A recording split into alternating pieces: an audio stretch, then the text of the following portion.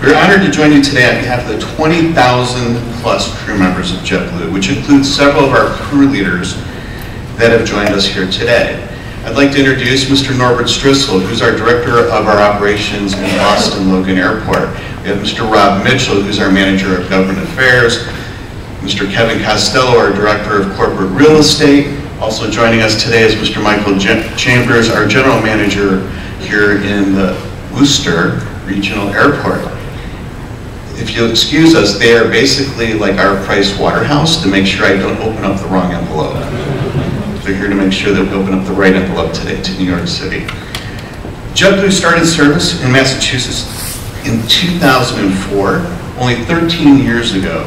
But in the span of those 13 years, JetBlue's recipe of low fares and award-winning service has been a winning formula to allow us to grow and continue to grow. Today we currently enjoy daily service to both Fort Lauderdale and Orlando from the Worcester Regional Airport.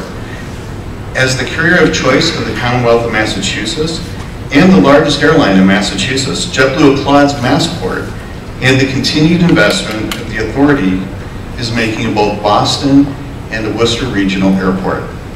This investment and the completion of the upgraded Cat 3 instrument landing system here in Worcester will provide us the highest technology available for landing when we have less than optimal visibility and have a very positive impact on both our operations and our customer experience. Because of the collective efforts of Massport, local and federal government agencies to invest in the Cat 3 landing system, JetBlue is very happy to be part of the, the newly announced New York service to the JFK airport.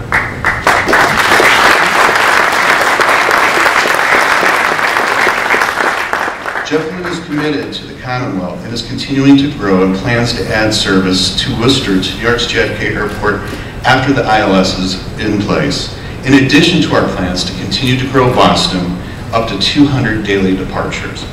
We expect to operate our new service from Worcester to New York's JFK airport once daily on one of our Embraer 190 aircraft.